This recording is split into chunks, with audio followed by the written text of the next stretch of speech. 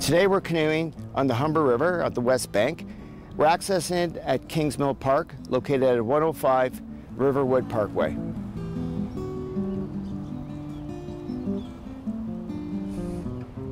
Six essential items that you need even before you get into the canoe are required by law. First of all, the most important item would be your PFD or your life vest, personal flotation device. It has to fit properly as well as has to meet the Canadian standards. Another item would be some kind of sound device, such as a pealess whistle or an air horn. A waterproof flashlight. Another item would be 15 meters of flotation rope, a buoyant rope that is contained in a throw bag per se, a water pump, or a homemade bail, such as this one. A paddle, and then you're good to go. For more information on what to carry in a kayak or canoe, visit Safe Boating Guide. And you could definitely look it up on the internet to see what to carry by law.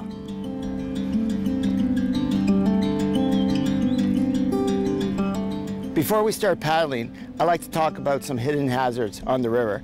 The water itself, that's why we always wear our PFDs or life uh, vest, as you could drown if you're not a strong swimmer. But the temperature itself can be extremely hazardous, especially the cold winter we've had. If you're paddling early on in the year, you have to be very aware of immersion hypothermia or cold water shock. That is where if you fall into cold water, you could gasp inhale that cold water and drown. So a PFD is so important.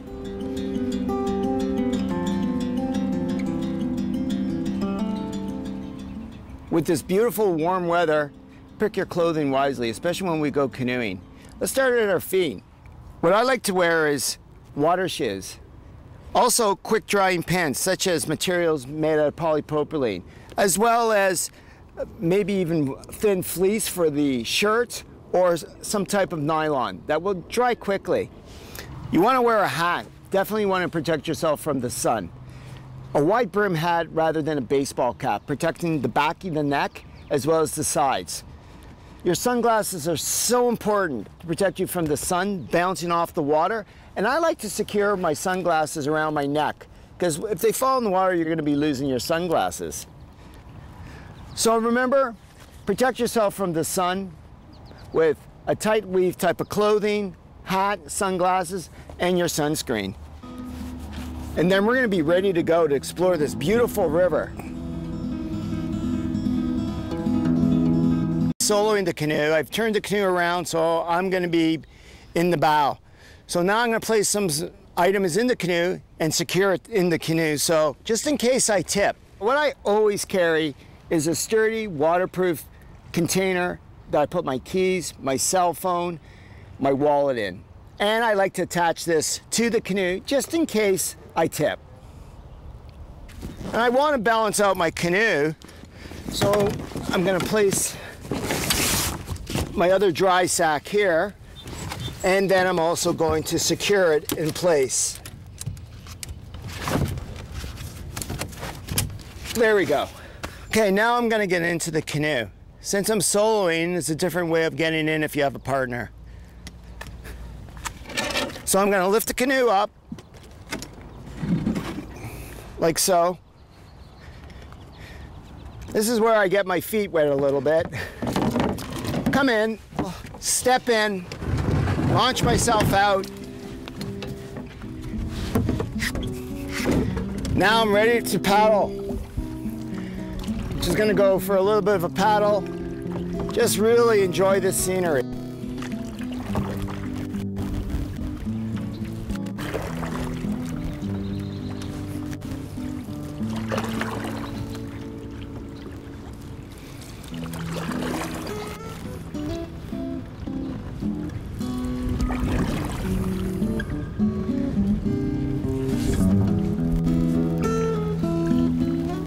I like about canoeing is that just being on the water is so calm and relaxing.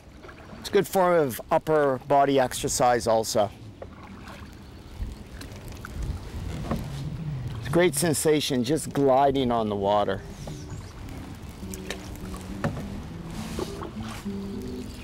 The scenery is spectacular.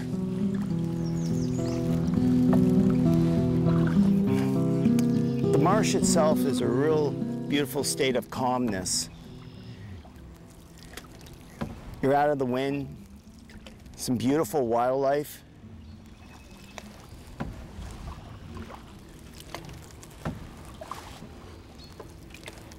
You don't want to get too close to the ducks or the swan. Let's give them their way. You can imagine the voyageurs paddling down here during the fur trade. That'd be a sight to see. You see how the J stroke is really coming in handy in keeping the canoe straight. It's primarily a stern stroke or when the person's in the back of the canoe.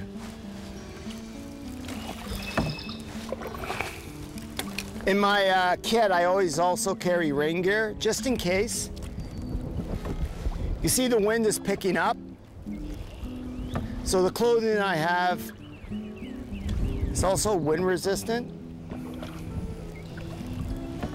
but it's just perfect. You should bring at least a couple of liters of water out here as you dehydrate pretty fast, especially in this warmer weather and the sun beating down on you.